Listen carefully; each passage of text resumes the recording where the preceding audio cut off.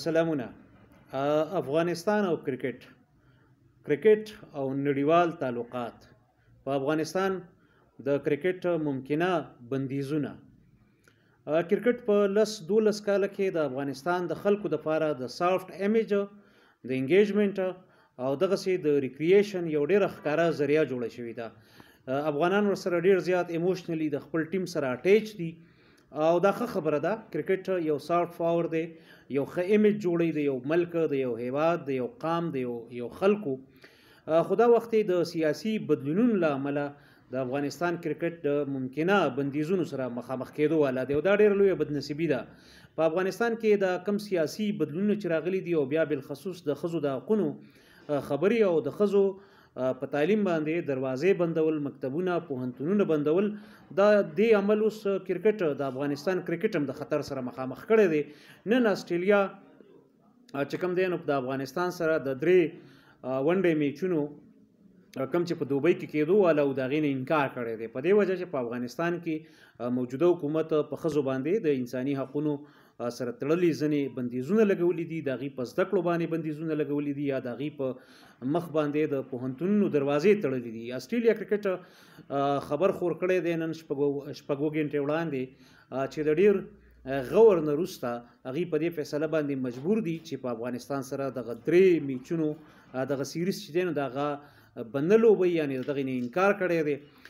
دا لومبی ځل نه دی چې د انساني حقونو په تناظر کې کرکټ په خلکو اثر انداز کیږي یا په کرکټ په تعلقاتو باندې انساني حقونه اثر انداز کیږي وړاندې په ساوت افریقا باندې 15 شل کاله بندیزونه وو ځکه چې هلته نسلي امتیاز کېدو او نسلي امتیاز د بنیادی انساني حقوقو خلاف دی دغه سه په زیمبابوې باندې نو کرکټ ته سیاست ته انټرنیشنل ریلیشنز ته په آیسولیشن کې قتل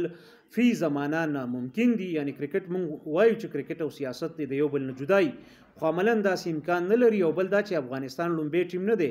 چې د خپل انساني حقوقو د مسلې په وجه باندې د بندیزونو سره مخامخ کیږي یا د ایسولیشن سره یا تنهایی سره مخامخ کیږي په خوا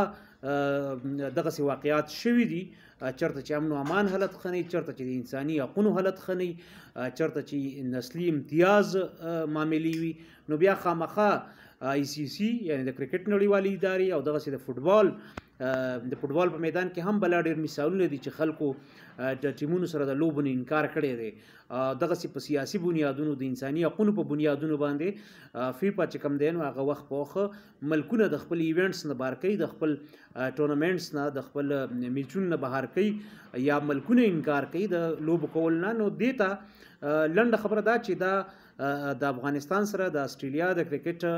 د میچونو نه انکار دا لومبه ځل نه دی بلکې په ماضی کې د دې مثالونه شته ښکاره مثالونه شته او نه صرف په کرکټ کې مثالونه شته بلکې د دې ترڅنګ په فوټبال کې او نور لوب کې هم دغه سي مثالونه شته فی زمانہ د لوب کول د خارجه پالیسۍ سره دغسې د نړیوال تعلقاتو سره په هر صورت باندې تړلې وي نو پکار د چې دیتا یو انټیګریټډ غوندي اپروچ وي د ټولو حکومتونو د خلکو د قامونو او دی ټول سيزون ته کله هم په ایسولیشن کې ونه ګوري که څه چې افغان کلاړیانو درخواست کړی دی چې کرکټ او سیاست دی د یو بل سره یو بل نه جدا شي او دا زمونږ هم غوښتنه ده چې کرکټ او سیاست دی د یو بل نه جدا شي خو عملا دا ممکن نه ده ترڅو به یعنی نن استرالیا او کو استرالیا کې رضا شي نو عین ممکن ده چې انګلند یا بل کوم مغربي هیواد یا دغه ایشیایي یا کرکټینګ سټیټ چې کوم دی هغه انکار وکړي په راتلونکي کې د دې خبرې نورم امکان شته او د دې شاته بنیادی وجه چې د کرکټ استرالیا یا سی په بیان کې راغلي دي نو هغه د انساني حقوقو خلاف ورزيانې او په خزو باندې د تعلیم دروازې بندول دي د مختصر شان خبرو غرض مې دا و چې دا لومبه ځل نه دی یا دا لومبه مثال نه دی بلکې په ماضی کې وخت په وخت دغه سي واقعیات شوي دي چې ملکونه د بندیزونو سره او یا آیسولیشن یا د سفارتي سیاسي تنهایی سره مخامخ شوي دي د وخت را کولو دا ورېدو مننه